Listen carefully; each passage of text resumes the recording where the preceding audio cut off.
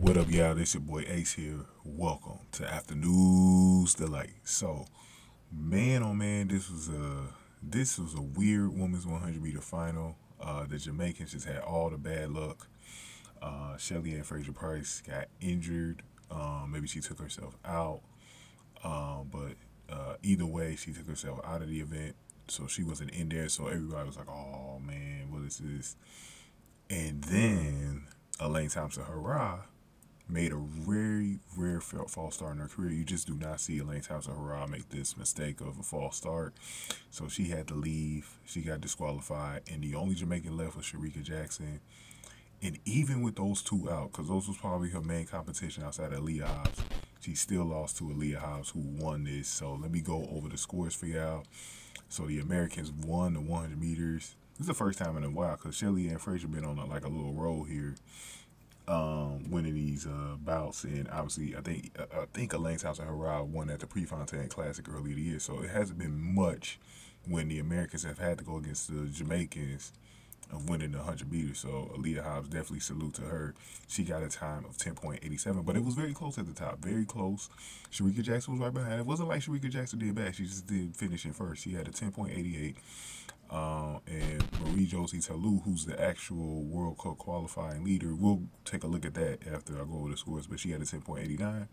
Tamari Davis, who has had a great rookie season as a pro, uh, finished under 11 flat, 10.94. Everybody else was over 11 flat. TT Terry's uh, steam from the relays is completely gone now. She finished in fifth, but she did finish in the top five with 11.13, beating out Mujinga Kambundji, who was at home. She won um, the relay race uh, later in the night, the 4x100.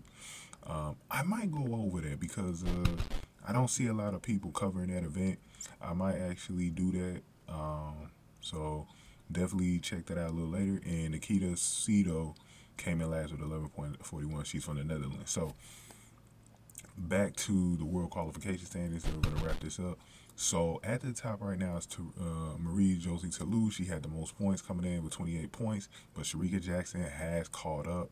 She has 27, and so far we got five qualifiers. Shelly Ann Fraser Pryce with 16, Elaine Thompson Rob with 16, and Daryll uh, Daryll Neita with 16 as well. We'll find out the rest of the field. Aleia Hobbs with this win is in great position to qualify.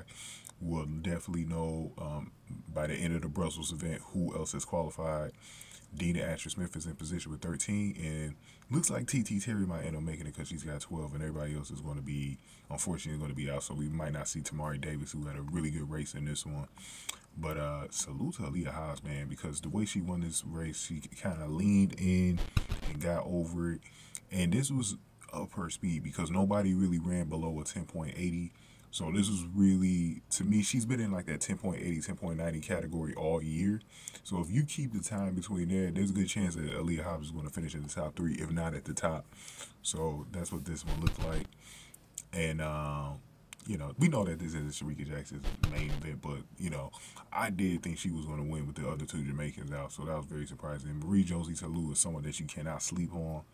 Um, she she's always a player who could definitely show up. I can't wait to see what she does in the championship. So go ahead and get this video like, y'all. Hit that like button for me. Share the video. Subscribe to the channel, especially if you're new in the zoo. Um, if you got any comments, definitely put them below. And if you want to donate to the channel, hit the super thanks button below. I much appreciate it. Shout out to my boy David Close, who uh, gave the ten dollar two ten dollar donos um, on this channel. He is the leader uh, with twenty bucks donated to the channel. Uh, also, you can send money to, and any money you send to the Cash App will also count in the leaderboard that I'm going to set up. Uh, so you guys can see who the top donate uh, are for the track and field videos on this channel.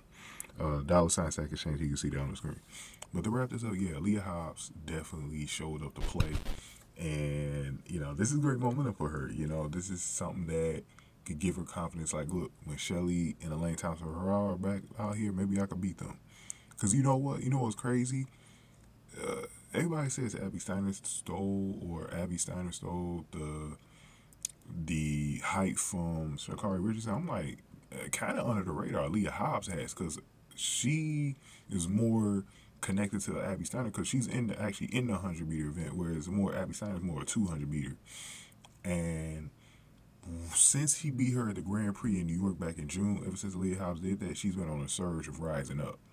And it does make you want to think how that 4x100 relay goes if Aleia Hobbs was in it. Would they have still won?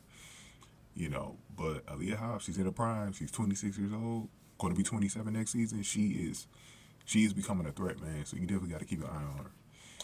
Thank y'all for watching. After News Delight.